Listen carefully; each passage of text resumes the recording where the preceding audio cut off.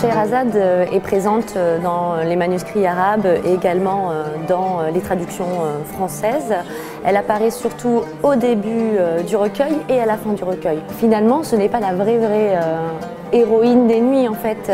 Elle apparaît cycliquement, elle permet donc ses enchâssements de contes, mais ce n'est pas, pas, son histoire dont il est question, c'est plutôt les héroïnes dont elle raconte l'histoire. Donc c'est vrai que dans Les Mille et Une Nuits, on a de grands romans d'amour pour toi, puisqu'on tombe beaucoup euh, amoureux dans les milliers de nuits, ce qui enclenche énormément d'histoires. On meurt même d'amour. Et on a des grands personnages comme Aziza, Zumurud ou Boudour, qui vont être des grands personnages féminins forts, souvent très intelligents, qui vont venir à la rescousse de l'homme aimé ou qui vont mourir euh, pour justement aider euh, ce grand amour.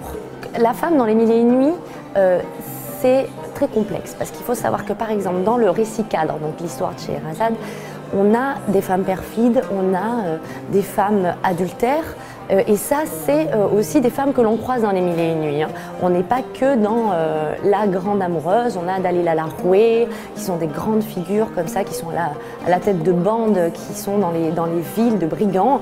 Donc on a plusieurs types de, de femmes, souvent fortes.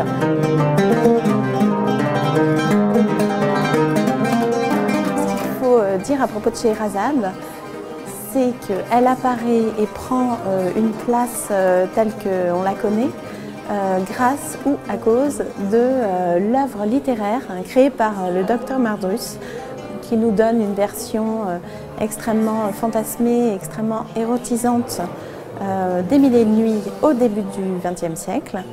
Donc sa publication des Mille et nuits dans le cadre des éditions de la Revue Blanche va connaître un succès euh, foudroyant et de là vont naître la majorité des images liées à Sherazade. Les images vont être celles d'une femme euh, lascive, celles euh, d'un cadre, des plaisirs, du harem, du fantasme, avec vraiment une sexualité poussée à outrance qui est vraiment développée entre le texte de Mardrus et les artistes qui vont qui vont euh, illustrer euh, cette édition-là.